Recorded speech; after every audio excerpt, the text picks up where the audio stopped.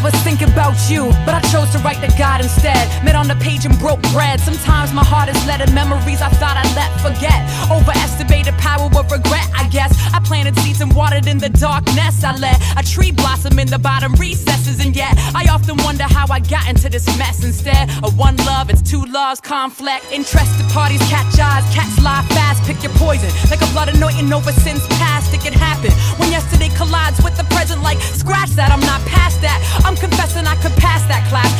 not if you're the lesson, I would take that punishment risk. Losing my blessing, going crazy over something, maybe not being the essence what it seems to me. It seems to me polyamory beckons, and I get it.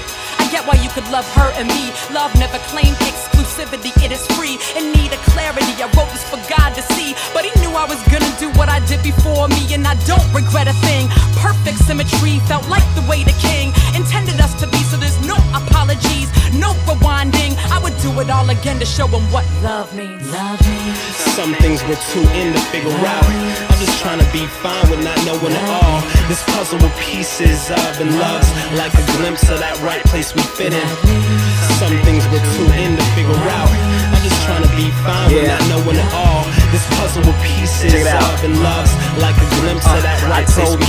I like to write when it's late and I'm sleep deprived. That's when I'm more inclined to joke and to speak my mind. As far as what love means, well, I can read a line from the dictionary, but I think I need to redefine. I need to live it to know it. That means I gotta give it and let it be. Giving back to grow it. I gotta sow it to get it. Like, really get it? I gotta show it. Not just talk about it like a lot of poets, aka moi. You see, my day job's talking this romantic, philosophic je ne sais quoi. And as a lyricist, in my experience, love's kinda bug, cause my fears and embarrassments.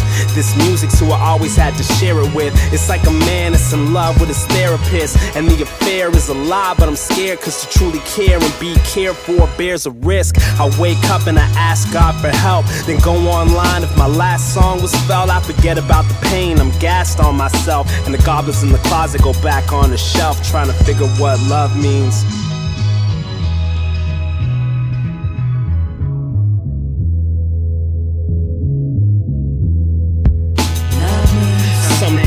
Too in to figure out. I'm just trying to be fine with not knowing it all. This puzzle with pieces of and loves like a glimpse of that right place we fit in. Some things we're too in to figure out. I'm just trying to be fine with not knowing it all. This puzzle with pieces of and loves like a glimpse of that right place we fit in. Understanding,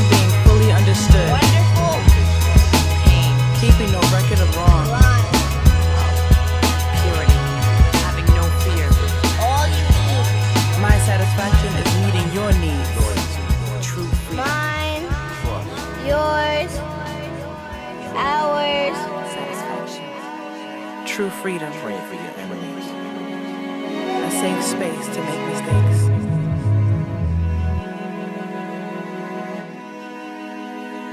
Love means, check it out.